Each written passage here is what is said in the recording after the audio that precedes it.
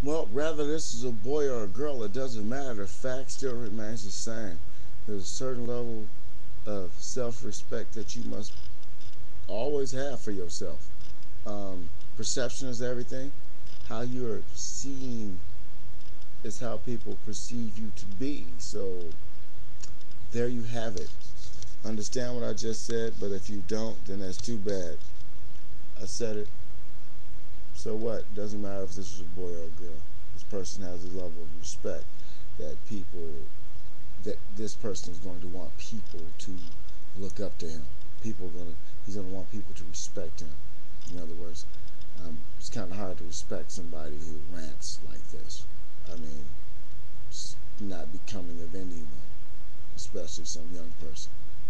So even though it was meant to bring about some thought in one way or the other, it only brings one thought to certain people's minds.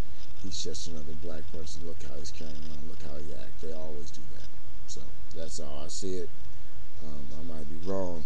If I am, tell me. I'm not oblivious to listening to what other people think about me.